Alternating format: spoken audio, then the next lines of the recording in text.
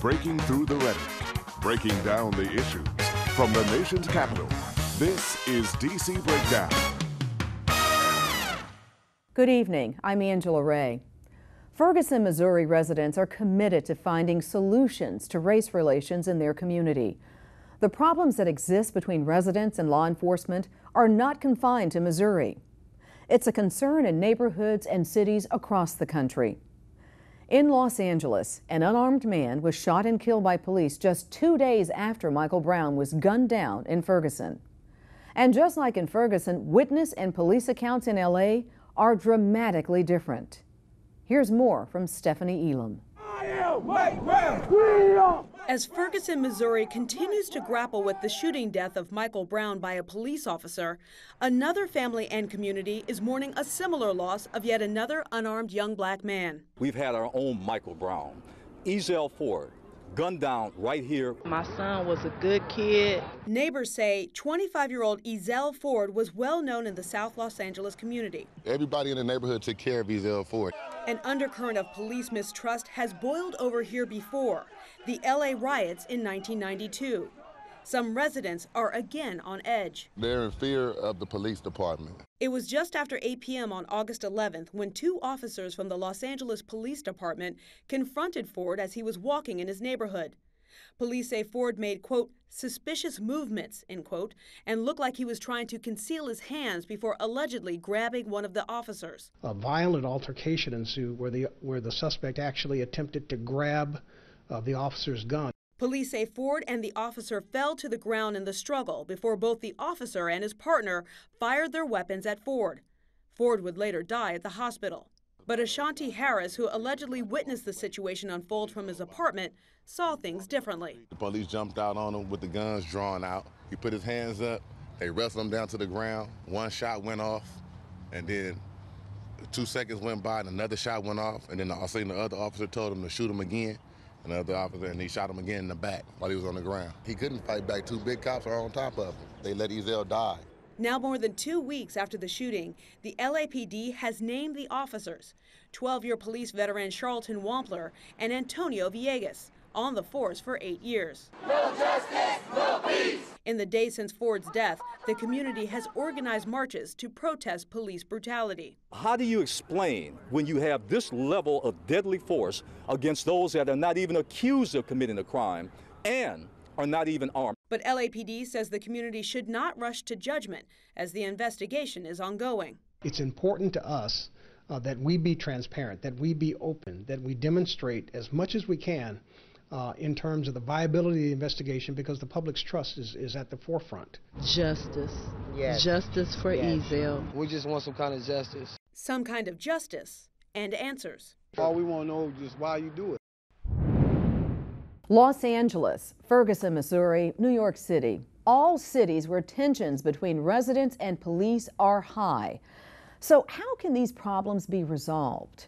Today, we're joined in the studio by two former members of law enforcement retired Chief Deputy U.S. Marshal Matthew Fogg, a D.C. Breakdown fan favorite, and former Maryland State Police Captain Leigh Maddox. Good to have you both in the studio.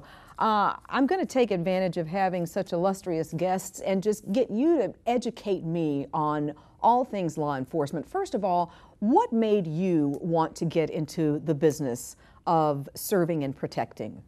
Well, it's a very long story, but I'll make it short. okay. when, when I was when I was a teenager, after I graduated from high school, my best friend was murdered by a drug gang on the Lower Eastern Shore of Salisbury, and left for dead. And she festered in the summer heat for three months before the police finally found her decomposed body, and my life path was altered as a result. My goodness. Wow. That's a Matthew. For me, I, I had an encounter with the police where I was locked up, falsely locked up, and uh, how old were you? It, uh, it, just turned 18. Oh my goodness! It's traumatizing. Put me in, put me in the lockup for two days. On a Saturday, They came and got me Saturday morning. When Monday they realized they had locked up the wrong person. I'm, matter of fact, I was the person that called the police, and they got the witnesses turned around, mixed up as a suspect. Uh, that traumatic experience, going through that, uh, everything. I it was in ways it was good. I went through it because I had a chance to see what it was like to Right. actually be in handcuffs, to actually be put behind That's bars, right. and know what falsely accused would mean. Yes. But uh, and it, and the white officer that did it, I remember talking to him saying, "Listen, you got the wrong guy," and it was like he just didn't want to hear anything I said until they found out they had made the mistake. But what I what I like about your story is that you weren't deterred from becoming a law enforcement officer. If anything else, you said no. You were more resolute that I want to, to follow this path. That's exactly right. And when I got into college and I switched to criminal justice administration, I always had that in the back of my mind that I want to get this thing straight. And it actually ended up haunting me later in even trying to get a job till we got it straightened out. But it was just that whole process. But it pushed it pushed me in that direction big time. And as an African American male, where was this? Where did, where did this Washington happen? Washington, D.C. happened oh, right in oh, wow. Washington D.C. Oh, okay. And so, you know, I came up in the civil rights movement, so I couldn't get in the boys' club because it was a whites only.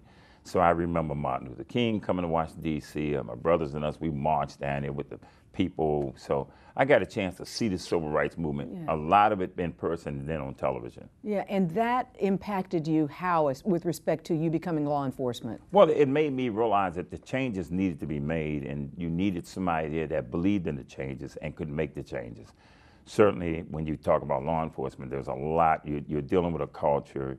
You're coming into a situation where if you're trying to make change and the powers that be don't want to see that change, then it, then it becomes a friction. But it doesn't mean you can't do it, and my, my career is a testimony to that. Um, t- tell me, and I'm always curious as to, to how you decide which um, which portion of law enforcement you want would like to go into. Like you decided to become a, a U.S. deputy marshal. You decided to be with the Maryland State Police. Um, tell me, how did you come about making this decision? My father, uh, a former Marine, uh, Lieutenant Colonel in the United States Marine Corps, uh, spent 10 years dragging me all across the country and instilling his discipline into my life. So when I finally um, realized that the police were un- unable to effectively investigate this tragic murder, I was very distraught that they, they, they didn't even want to go and search for her. They wrote her off as a missing person. And I was Mm. so angry. I couldn't think of anything else to do except go to the most well-trained and most well-respected State Department in Maryland, and I banged on the front door of the Salisbury Barrack, and I said, I need an application. Y'all need help. Did you? I like that. Did you feel like the police were being lazy, or what, what did you feel like was going on? With, This is, this is in the late 80s, the height of the, of the crack epidemic, if you will. I think their focus was on other things, and this just didn't rise to the priority that it should have. And do you feel like that uh, you being a part of the state police department that that that spoke more to what it was you wanted to achieve as opposed to a local police force? Yes, uh, I, I wanted to be one of the, in an agency that was known for being the best trained and the most professional. So what's the difference between being in a local law uh, enforcement uh, agency versus something like both of you? Yeah, fe- you're federal, but you're state still. Yes. So what is it like to be working at the state level and dealing? What challenges do you deal with at the state level? Oh, well, the, a lot of the challenges we deal with are, are trying to stay uh, in concert with the community uh, because our officers, when they get promoted, there's, there's a lot of transferring and moving around, so there may not be as much stability, um, so that there's a turnover, particularly in the, in the metropolitan areas. So trying to, um, and command staff as well, not just the troops. Uh, so trying to keep, build and maintain that, tr- that trust in the community is, is always a challenge. Okay, but here we are talking about the state police trying to get trust in the community when that is what local law enforcement is supposed to be doing, Matthew. That's right. That's correct. It's, it's, it should be community policing. It should be working with the community. You should be, I've always said you should represent the people who you serve. And um, And you, that's not just, oh, I'm black and you're black. No, it's we're all citizens, we're all Right. residents. I decided I wanted to serve and protect you, you know, and, and that means all of you. Right. But but in reality, what we find is that in today's culture, because racism is still a, pretty much a part of America, we find that uh, people identify with people who they feel that looks like them. Um, you know, Especially because the problems continue. Right. It's not like, oh, it happened. No, no, no, no. Just today, something's. right. You know what I'm saying? It's That's like it's never. It's not never ending. It's never ending. And so, if you want, you're talking about community policing, you're talking about citizens reviewing some of the things that police do. I think these are good things that can happen.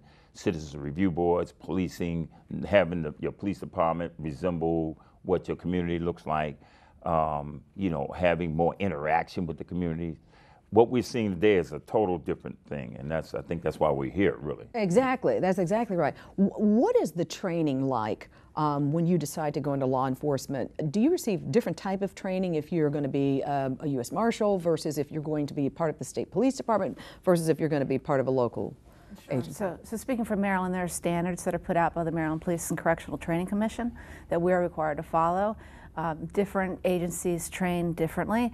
Larger departments like the state police, we have a six-month live-in academy, um, and then an, exten an extensive um, on-the-job training with a with a seasoned road patrol trooper after that. So how are you taught how to treat people? Because I understand your training will include, you know, you got to know how to shoot, you got to know when, you got to get. But is there any training on how to treat your constituents? There has been, but I don't know if you can really train people on how to treat people. You either know how to treat people, you know to give respect, to get respect, or you don't. And that, that is something that is very hard if someone doesn't come onto the job with that to be able to teach them how to do that. It can That's be done. science right and there. we have tried, That's right. but it hasn't been as successful as Ferguson has, has demonstrated. That's some science. And that's a psychology behind. Now we have psychological training. You're supposed to have people that look at you and sit down and talk to you, and they give you the MMPI and all of these psychological tests that determine if you react fast and how you deal with people. But again, it's a lot of discretion. It's a lot of how you treat people, your discretion. And see, the problem, the thing is, if you're another officer and you're with an officer, and you see this officer treating someone the way that you don't believe they should be treated, now you've got that sort of blue wall, if you that blue wall of we're sound, so that culture. we're if you talk about speak that. out That's against right. it, then you got issues. Yeah. But yes, as as, as Captain Maddox said, uh, you know, we should know how. I know how I want to be treated. That's right. That's really what it's all about. That's I right. treat people the way I want to be treated. That's right. Um, we're going to talk more about the blue wall of silence uh, in just a moment because I want we've got to take a commercial break. But um, I want to talk to you for a second about being a woman uh, and being an officer. W- what is that like? This woman wants to know. I mean,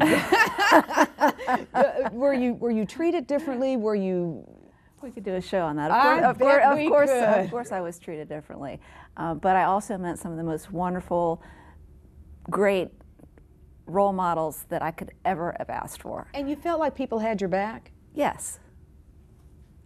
On the road, people had my back. In the boardroom, boardroom, as the politics uh, are what they are, maybe not so much, but yeah. Ah, the politics of it all. And so the politics enters all of this. That's right. I, look, look, I and, tell me how you guys think about this. One of the ways I look and see if how are we how are we moving along in this country with respect to race? Well, let's see. How are white officers interacting with minority communities? How are minority officers interacting with white communities? what happened in Ferguson, New York, Los Angeles et al. tells me we have a racial problem in this country that a lot of us want to close our eyes and pretend it doesn't exist. Right. That's not the case.